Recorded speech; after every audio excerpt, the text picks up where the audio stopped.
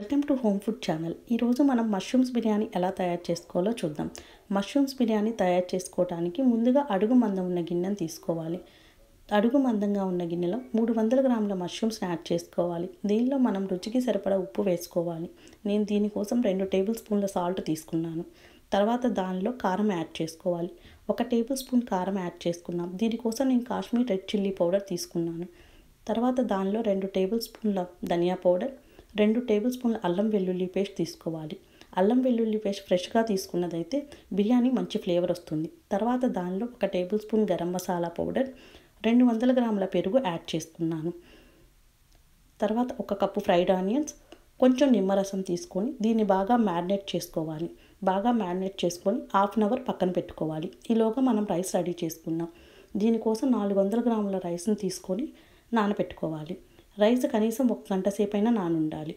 ఇప్పుడు ఒక గిన్నెలో వాటర్ తీసుకొని దానిలో ఉప్పు రెండు బిర్యానీ ఆకులు కొంచెం హోల్ గరం మసాలా వేసుకోవాలి. చెక్క లవంగాలు షాజీరా మిరియాలు యాలకులు. తర్వాత దానిలో రెండు టేబుల్ స్పూన్ల నెయ్యి యాడ్ చేసుకోవాలి. రెండు టేబుల్ స్పూన్ల నెయ్యి యాడ్ చేసుకున్న తర్వాత దానిలో కొత్తిమీర పుదీనా యాడ్ చేసుకొని ఈ వాటర్ని బాగా మరిగించుకోవాలి. వాటర్ బాగా తెల్లుతున్నప్పుడు మాత్రమే మనం నానబెట్టుకున్న బియ్యాన్ని యాడ్ చేసుకోవాలి. వాటర్ బాగా తె తెల్లాలి. మనకు కనిపిస్తున్నట్టుగా వాటర్ తెల్లుతున్నప్పుడు మాత్రమే మనం రైస్ యాడ్ చేసుకోవాలి. ఈ రైస్ని సిక్స్టీ పర్సెంట్ ఉడికినప్పుడు ఫస్ట్ లేయర్ సెవెంటీ పర్సెంట్ ఉడికినప్పుడు తర్వాత సెకండ్ లేయర్ ఎయిటీ పర్సెంట్ మూడో లేయర్లుగా యాడ్ చేసుకోవాలి. ఇప్పుడు వాటర్ సిక్స్టీ పర్సెంట్ అయింది ఫస్ట్ లేయరు తర్వాత సెకండ్ లేయర్ థర్డ్ లేయర్ వేసుకోవాలి. తర్వాత దీనిలో కొంచెం fried onions yellow food colour నెయ్యి వేసుకొని అల్యూమినియం ఫాయిల్తో క్లోజ్ చేసుకోవాలి. అల్యూమినియం ఫాయిల్ లేకపోతే నార్మల్ ప్లేట్తో అయినా క్లోజ్ చేసుకోవచ్చు. ఇలా ఫిఫ్టీన్ మినిట్స్ మీడియం ఫ్లేమ్లో ఉంచుకోవాలి.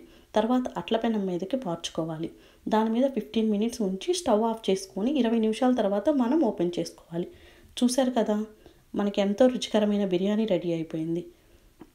ఈ వీడియో కనుక మీకు నచ్చినట్లయితే షేర్ చేయండి లైక్ చేయండి కామెంట్ చేయండి సబ్స్క్రైబ్ చేసుకోండి. Thank you.